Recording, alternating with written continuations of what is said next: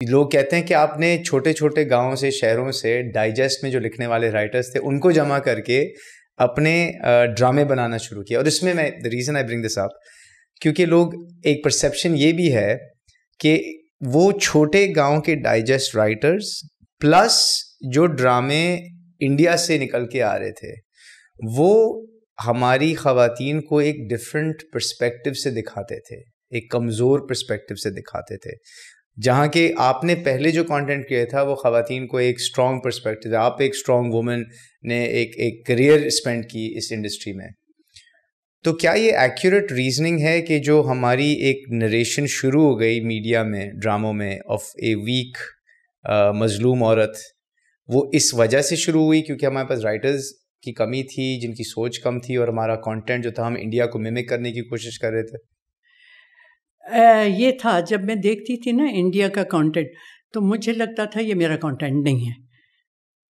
एक तो औरत को हर वक्त किचन में उन्होंने दिखाया और सजा हुआ दिखाया तो ये मुझे बड़ा अजीब लगता था। दूसरा सती सावित्री और ये तो वो, ये मुझे पसंद नहीं था, क्योंकि मुझे आज तक भी मुझे लगता है कि आप कोई भी काम करें ना तो उसमें आपका कहीं ना कहीं मकसद या आपकी पर्सनैलिटी एक तो छुपी हुई होती है और हम्म। मकसद होना चाहिए हम्म।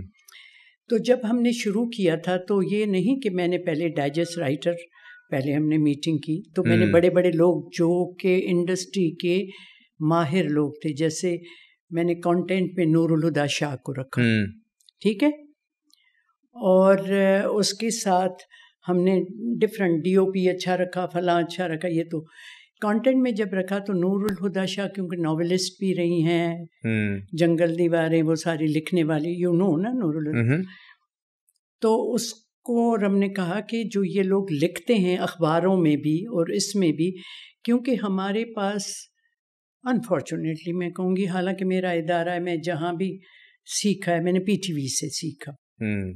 लेकिन जो एक चीज़ थी कि वो हम लोग बड़े कंजर्वेटिव रहे वहाँ पे जो जयालक के बाद नहीं और उससे पहले भी कि ये चार राइटर यही लिखेंगे और यही लिख सकते हैं। वो बहुत अच्छे राइटर हैं। मनु भाई हो गए असकर नदीप सिंह जो आज भी मैं कहती हूँ अच्छे राइटर हैं। नूरुल हुदा हो गई आपकी हसीना मोइन। हसीना मोइन। तो फिर हमने कहा राइटर्स बनाए हमारे पाकिस्तान में बहुत कुछ है। नहीं तो एक इसमें तो, मैं थोड़ा सा थोड़ा सा मैं एक बता जी जी। तो फिर हमने वो जमा किए लेकिन हमने सिर्फ़ उनकी वो नहीं ली हमने उनको सिखाया। तो अच्छा ठीक है उनको लेके फिर आपने उनको ग्रूम किया।